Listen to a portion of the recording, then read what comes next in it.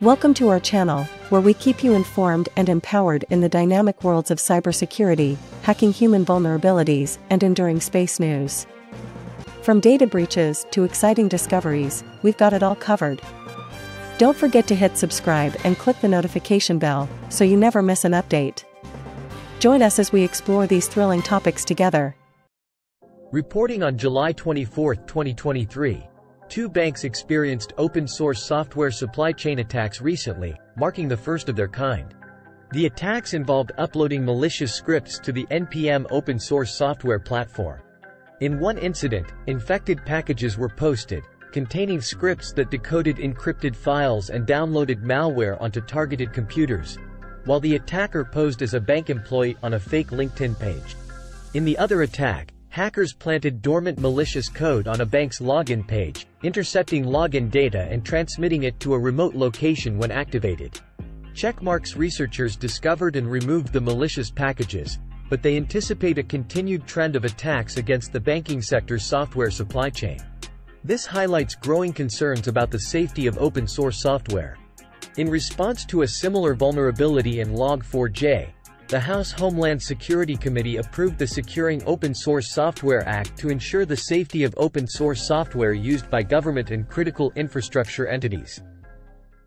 Reporting on July 24, 2023, two banks experienced open source software supply chain attacks recently, marking the first of their kind.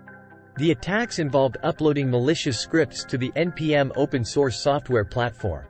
In one incident, infected packages were posted, containing scripts that decoded encrypted files and downloaded malware onto targeted computers, while the attacker posed as a bank employee on a fake LinkedIn page. In the other attack, hackers planted dormant malicious code on a bank's login page, intercepting login data and transmitting it to a remote location when activated. Checkmarx researchers discovered and removed the malicious packages, but they anticipate a continued trend of attacks against the banking sector's software supply chain.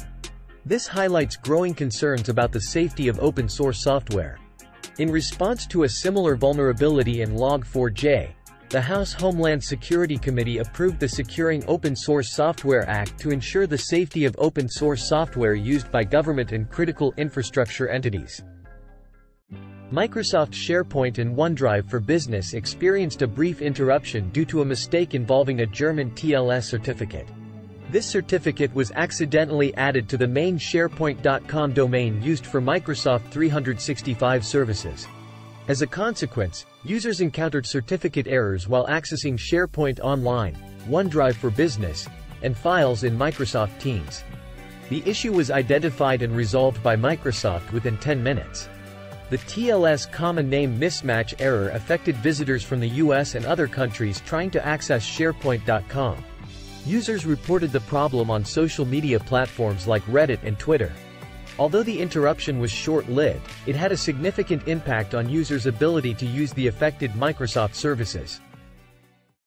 Norway has been hit by a cyber attack affecting 12 government ministries, the latest incident targeting Europe's largest gas supplier and NATO's northernmost member.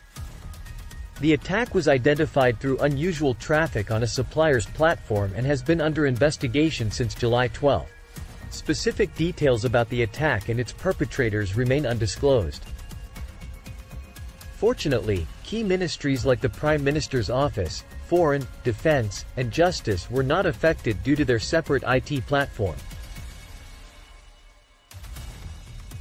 This is not the first time Norway faced cyber threats. A previous DDoS attack was linked to a criminal pro-Russian group in June 2022.